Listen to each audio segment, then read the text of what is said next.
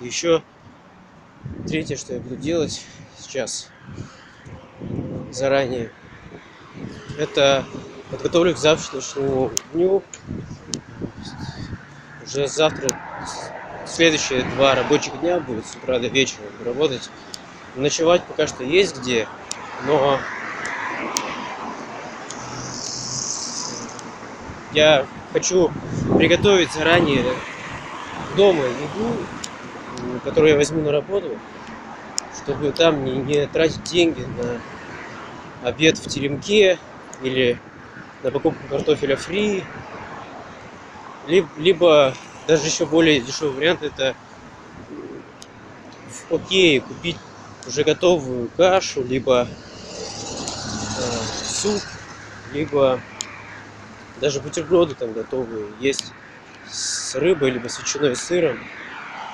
Но я хочу свои бутерброды сделать, там черный хлеб будет э, с сыром, там, с вареным яйцом и вареной вареной курицей. Так сделаю. Буду это, есть на работе.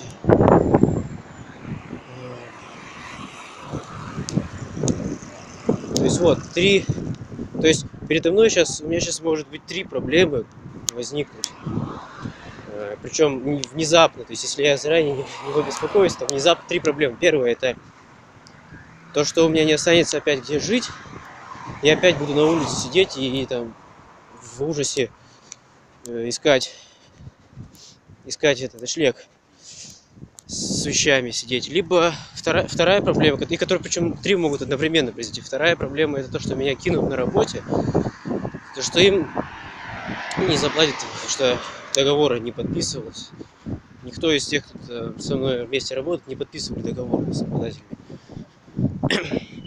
А деньги у меня уже зако- за- почти закончились. И ну вот, и третье это...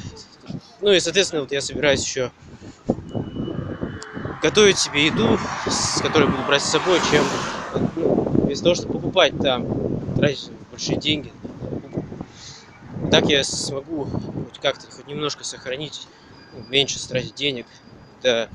И то есть, если даже меня кинут там, то у меня еще будет немножко денег. Я смогу там, допустим, через сайт быть исполнителем, искать там заказы. Хоть как-то еще смогу прожить, наверное.